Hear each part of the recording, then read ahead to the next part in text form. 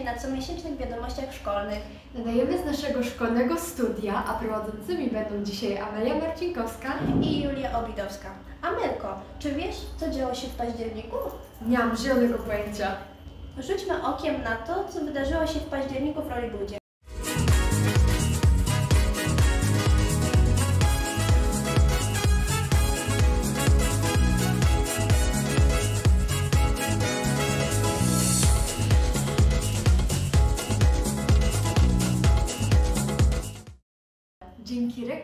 Justyny Musiał-Michalak o bibliotece było huczno w całej szkole. Wydarzyło się tam wiele konkursów, niniejszym randka z książką, gdzie mogliśmy zapoznać się z nowszymi bestsellerami. Ale nie słuchajcie mnie, posłuchajcie pani, jak o tym opowiada. Rzeczywiście od 1 września e, wspólnie z panią Ewą Witasik postanowiłyśmy po pierwsze zmienić nieco przestrzeń e, biblioteki szkolnej, ale to raptem początek. Czekają nas naprawdę duże zmiany.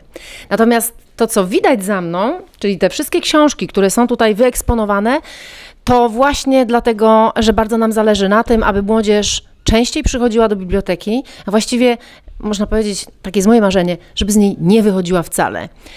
Czyli te wszystkie książki i kolejne, które będą em, zakupione do szkolnej biblioteki, no chciałabym, żeby podniosły poziom czytelnictwa wśród młodzieży w zespole szkół rolniczych. Jak ja to zadałam? Dobra, nieważne. Czy y, chce Pani nam dokładniej powiedzieć, co działo się w bibliotece w październiku? Otóż październik jest Międzynarodowym Miesiącem Szkolnych Bibliotek. W związku z tym z panią Ewą Witasik postanowiłyśmy że nasi uczniowie będą mieli szansę wziąć udział w szeregu różnych konkursów zorganizowanych e, po to właśnie, między innymi, żeby to czytelnictwo w naszej szkole e, osiągnęło wyższy poziom. I są to konkurs recytatorski, gdzie można było zaprezentować wybraną e, przez siebie poezję, fragment prozy, czy przedstawić monodram. Drugim takim konkursem, w którym młodzież mogła się wykazać i nadal może, jest konkurs na najlepszą recenzję. Kolejnym konkursem e, jest konkurs, e, w którym można zaprojektować okładkę ulubionej książki lub zakładkę do swojej ulubionej książki. No i takim czwartym konkursem jest y, konkurs, który właściwie nie wymaga większych umiejętności oprócz tego, że przyjdziesz do biblioteki szkolnej, wypożyczysz książkę, a właściwie to zabierzesz ją na randkę, bo mamy konkurs pod nazwą Weź książkę na randkę, wypełnisz na serduszko imieniem, swoim nazwiskiem i klasą, do której chodzisz i weźmiesz udział w losowaniu głównej nagrody. Kolejną fajną rzeczą, którą zaproponowałyśmy z panią Ewą Witasik naszym uczniom, czyli uczniom Rollywoody, to stragan z książkami. Tanimi książkami warto tu przyjść i za kilka lub kilkanaście złotych nabyć książkę, która może stać się miłym prezentem lub po prostu rozkoszą na zimne jesienne wieczory ponieważ Rollywooda wzięła udział w akcji Przerwa na czytanie, czyli czytamy na przerwie i bijemy rekord czytania. Miłość do czworonogów to znak rozpoznawczy naszej społeczności szkolnej. 4 października obchodziliśmy Światowy Dzień Zwierząt, a nasi uczniowie przemarszem pokazali, jak ważny jest szacunek dla naszych pupili, co pokazuje filmik, który nakręcili. 4 października obchodzimy Światowy Dzień Zwierząt. E, Wspólnie z młodzieżą z Zespołu Szkół Rolniczych e, postanowiliśmy e, uczcić ten dzień przemarszem do schroniska dla bezdomnych zwierząt w Środzie Wielkopolskiej. Wychodzimy za chwileczkę ze szkoły. Uczniowie przygotowali transparenty z hasłami prozwierzęcymi. E, Tym sposobem chcemy przypomnieć e, społeczności lokalnej, że nasze e, zwierzaki mają w naszym kraju swoje prawa, że czują, że odczuwają. Zachęciło Cię do udziału w przemarszu? Do udziału w przemarszu zachęciło mnie pokazanie mieszkańcom, że zwierzęta też mają prawa i zasługują na szacunek jak każdy z nas. To, że można przebrać się za zwierzątka i z klasą do schroniska.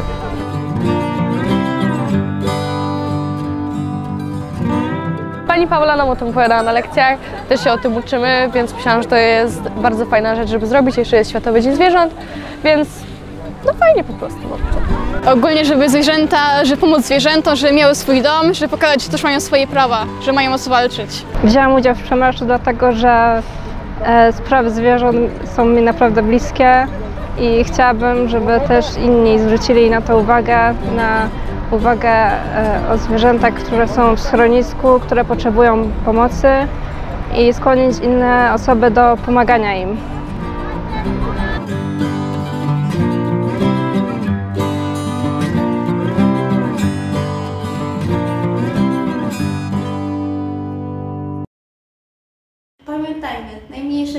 Liczy. Adoptuj, nie kupuj. 11 października odbyły się pra- wybory parlamentarne. Frekwencja była niesamowita, z czego tego miejsca dziękujemy. Francja, Francja, elegancja. Od 15 do 19 października grupa uczniów z trzema nauczycielkami polecieli razem do Paryża. Posłuchajmy krótkiego wywiadu na ten temat. Bonjour, je m'appelle Anna Komorowicz, je suis enseignante de la langue française dans notre école. Co zwiedzaliście na wycieczce? Już pierwszego dnia eksplorowaliśmy to, co najważniejsze, czyli La Tour Eiffela. Wjechaliśmy na sam szczyt wieży Eiffla. Mieliśmy duże szczęście, ponieważ mimo tłoku i zakazu udało nam się użyć e, języka francuskiego do tego, żeby przekonać panią w kasie i e, mimo, że inni nie wjechali, zespół szkół rolniczych znalazł się tego dnia o tej porze na szczycie wieży Eiffla. Między innymi e, wjechaliśmy na sam szczyt wieży Eiffla, katedrę, katedrę Notre Dame, e, Muzeum Louvre, prawie dwie godziny, ale było bardzo super. E, Pola Elizejskie, ogrody luksemburskie. Później też byliśmy w Louvre na końcu, e, przy katedrze Notre Dame. Czyli generalnie językiem komunikacji był tylko francuski, czy jakieś inne języki? Y, Był też angielski, ponieważ nasz pilot mówił po angielsku. Jednakże prawdą jest, e, że w języku francuskim, porozumiewając się w kraju Francja, załatwimy po prostu wszystko. E, No głównie angielskim, ale też takie małe słówka jak merci, bonjour, to mówiliśmy właśnie po francusku, ale głównie tak angielski wszystko. Głównie po francusku, trochę po angielsku, ale też po polsku. 16 i 18 października odbyły się warsztaty pielęgnacyjne dla klas pierwszych i drugich LO z panią Anną Ślązak. Amelka, czy wiesz jak wyglądały te zajęcia? Nie mam pojęcia, ale jestem bardzo ciekawa. Przedstawimy Wam małą relację z tych zajęć oraz wywiad z panią Anną Ślązak.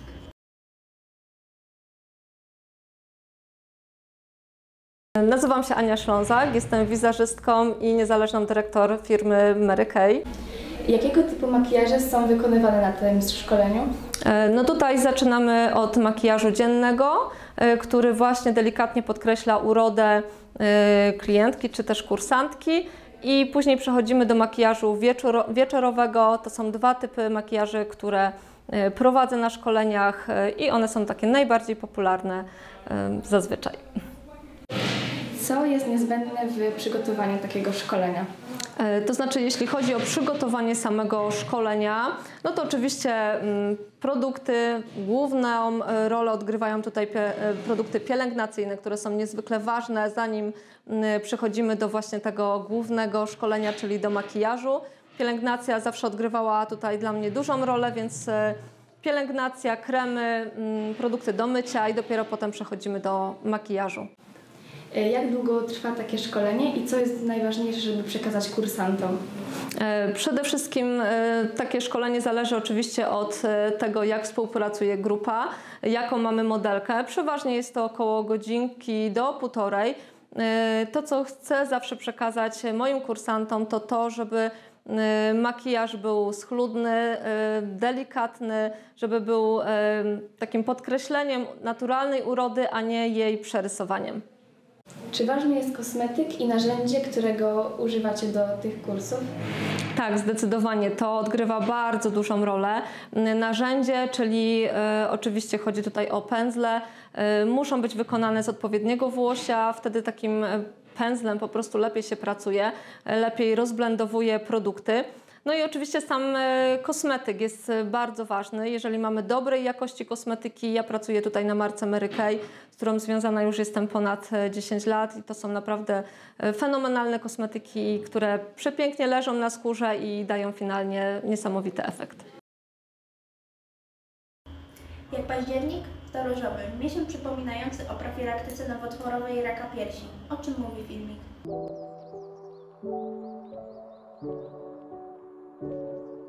Samo badanie wykonujemy regularnie od 18 roku życia, raz w miesiącu. Najlepiej e, wykonać je e, w pierwszych e, pięciu dniach cyklu. Robić to systematycznie. Do sama badania używamy trzech paluszków. Ruchami kolistymi badamy pierś, Oczywiście docisk musi być mocny, to nie może być e, badanie powierzchowne, gdyż e, zmiana może być przez nas e, niezauważalna i niewyczuwalna. Docisk musi być mocny. Tą pierś, którą tutaj obecnie badam, ona jest chora. Ma wyczuwalne dwa guzy. Jeden jest tutaj, a drugi jest poniżej. W tym miejscu. Obok pierś to pierś zdrowa, e, jest miękka, e, nie wyczuwam e, w niej żadnych zmian. Dlatego zachęcam i apeluję jednocześnie do wszystkich młodych kobiet. Mitem jest to, że rak spotyka tylko i wyłącznie starsze kobiety.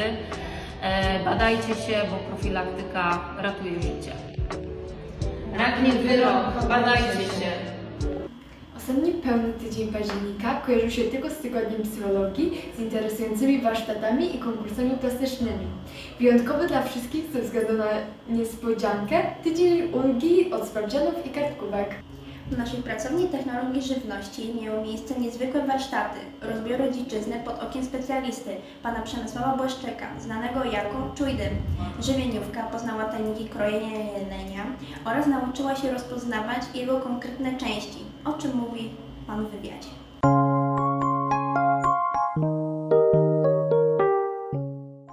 Witam serdecznie. Przemysław Czujdym-Błaszczyk. Miałem przyjemność i okazję prowadzić dzisiaj warsztaty z rozbioru dziczyzny. Dzięki uprzejmości kolegi, który dostarczył najlepszy i najzdrowszy surowiec, jaki tylko w naszych lasach jest. Zawodowo jestem kucharzem, ale można powiedzieć w szerokim tego słowa znaczeniu gastronomem, ponieważ zacząłem też tak jak uczniowie od nauki w szkole zawodowej przez różnego rodzaju inne szkoły gastronomiczne, przez studia, e, a obecnie pracuję jako kucharz, ale też zajmuję się wieloma aspektami, jak szkolenia, jak warsztaty z różnymi osobami. Także cały czas w gastronomii. E, można powiedzieć, że z mlekiem matki zostało e, to wypite, ponieważ moja świętej pamięci babcia była kucharką weselną, jak to kiedyś kucharki były weselne, więc moje dzieciństwo, wakacje polegały na tym, że przed telewizorem jak siedziałem, miałem między nogami makutrę i tak zwaną pałkę, nazwaną też gocką i kręciłem masy na torty, które babcia robiła na swoje wesela. Potem moja mama przejęła to po swojej teściowej i gdzieś tam już w wieku 15 lat byłem pomocą napędu do tacy, czyli można powiedzieć pomocą kelnera. I to gdzieś tam się cały czas rozwijało, a lubię jeść, zresztą widać, że jestem fit. E, skrót FIT oznacza po polsku fajny i tłuściutki, więc myślę, że e, no niesławnie to zaangażowanie do jedzenia. Już to mówiłem podczas warsztatów, y, że była bardzo super miła atmosfera, tak? Niestety w tych czasach jest nagonka też na myśliwych, tak? Że ten wizerunek myśliwego jest no, zły, można tak powiedzieć. Ludzie nas postrzegają w ten, a nie inny sposób, e, a odbiór młodzieży był bardzo, bardzo dobry, można powiedzieć. Była wielka współpraca. Okazało się też, że niektóre osoby mają smykałkę e, do tych rzeczy i pomagały, same też to robiły. Yy, myślę, wydaje, że no, będzie bardzo owocna współpraca. Ja bym chciał mieć takich współpracowników wokół siebie. No i mam nadzieję, że zaowocowuje im to na przyszłość. Yy, uważam, że potencjał zależy od jednej rzeczy, że trzeba chcieć. Jeżeli się chce i człowiek ma też trochę pokory, yy, to śmiało do przodu przez świat można iść. Ja też przytoczę tak dla przyszłych, jak byłem na studiach, taką anegdotę, ale prawdziwą. Miałem zajęcia bardzo krótkie z gastronomii, bo studiowałem towaroznawstwo pierwsze i był świętej pamięci profesor Borowski, który na zajęciach, właśnie na wykładach mówił mi o kuchni chińskiej, jaka jest wspaniała, jakie są pyszne potrawy i jakie super sprzęty. No ja się zdenerwowałem i poszedłem na prywatne, że tak powiem, zajęcia do pana i powiedziałem, że mnie zdenerwował. Oczywiście wziąłem kawę, wziąłem ciasto, że mnie zdenerwował, bo zamiast o wspaniałej kuchni polskiej to mówił mi o kuchni chińskiej. I wyglądało to tak, że co dwa tygodnie ja chodziłem do niego, albo on piekł ciasto, albo ja i rozmawialiśmy o tej wspaniałej kuchni polskiej, a potem po wielu latach zostałem zaproszony do prowadzenia zajęć już na uczelni, czyli na swoją uczelnię wróciłem jako wykładowca też kuchni tradycyjnej, polskiej i regionalnej. Także jeżeli człowiek chce i widzi się w jakimś kierunku, to wystarczy tylko chcieć i dążyć, dążyć dalej w tą stronę. Bardziej tak, uważam, że nie tylko w gastronomii, ale w każdych zawodach. Tak, trzeba odnaleźć jakby troszeczkę swoją drogę, trzeba to polubić, bo mówi się, że jeśli się lubi to, co się robi, to ani dnia się nie przepracuje, tak? I myślę, że tu dla młodzieży, co chcą robić, nie musi być to gastronomia, może być wszel, każdy inny zawód. Po prostu trzeba chcieć, dążyć do tego i mieć z tego też, jak mówił jeden z projektantów mody, trzeba mieć, oprócz jobu, trzeba mieć z tego fan. No i, i tego życzę oczywiście. Dziękuję, dziękuję bardzo myśliwskim pozdrowieniem Dasz Bur oraz Czujdym i do zobaczenia na kulinarnym szlaku. Ostatni tydzień października to dzień wolny. Dziękujemy za wspólnie spędzony październik i do zobaczenia w listopadzie. A jak się zapowiada? Zaraz się dowiedzą.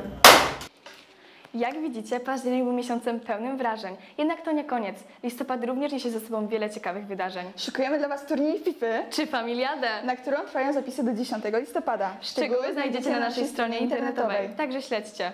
W sobotę odbędzie się w naszej szkole szkolenie fotograficzne. W Średzkim Ośrodku Kultury rozpocznie się 19. Międzypowiatowy przegląd pieśni i piosenek patriotycznych, a w kolejnych dniach występ galowy laureatów roli.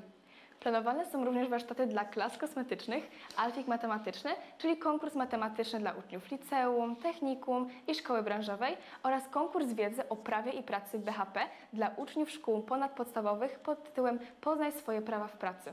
Osoby zainteresowane proszę o zgłoszenie się do pani Niny Wrzaskowskiej do końca października osobiście lub przez e-dziennik. Rozpoczynamy także serię filmów wirtualnych z drzwi otwartych oraz współpracę z kinem Baszta w ramach projektu Nowe Horyzonty Edukacji Filmowej, wybrany cykl filmowy na ten rok szkolny, maturalne motywy w filmie. W projekcie będą uczestniczyły klasy trzecia TRZ, trzecia RWA i trzecia ELO. Oczywiście nie zapominamy o naszych klasach wojskowych. Klasa trzecia LOT będzie na poligonie z panem Markiem Idaszkiem i wychowawcą Batą Kosakowską. Kolejne szkolenia strzeleckie, tym razem wyjazdy trzydniowe. Oprócz samych strzelanin to także szkolenia z ratownictwa wodnego, survival, taktyka zielona, pierwsza pomoc i mała niespodzianka. Dodatkowo czekają nas szkolenia z instruktorami z naszej jednostki patronackiej 31. Bazy Lotnictwa Taktycznego Poznań Krzesiny. Okres od 6 do 8 listopada to czas ogólnopolskiego konkursu strzeleckiego dla klas wojskowych we Wrocławiu. Będziemy reprezentować naszą Wielkopolskę. Posłuchajmy naszych reprezentantów, którzy niedawno wygrali Mistrzostwa Wielkopolski. Dzień dobry, z tej strony Filip Kaźmierczak, Aleks, Aleks Kałużny oraz Mateusz Kaczor. Jesteśmy uczniami klasy czwartej LOT. Przygotowujemy się do reprezentowania strzeleckich mistrzostw Polski klas wojskowych. Em, Reprezentujemy całą Wielkopolskę. Po tym jak e, wygraliśmy etap wojewódzki na 14 szkół. Zawody odbywają się w 10. Wrocławskim Pułku Dowodzenia. Jaki cel stawiacie sobie na tych zawodach? Myślę, że e, przede wszystkim naszym głównym celem jest samorozwój naszych umiejętności i poprawienie wyniku sprzed roku, kiedy zajęliśmy ósme miejsce na całą Polskę. Teraz będziemy celować w co najmniej siódme lub nawet lepiej. Jedną z konkurencji jest odparcie ataku na punkt kontrolny, który obstawiamy. Drugą z konkurencji będzie natomiast strzelanie dynamiczne. A trzecią i ostatnią konkurencją jest patrol pieszy. Jakie macie rady dla osób zaczynających dopiero w strzelectwie?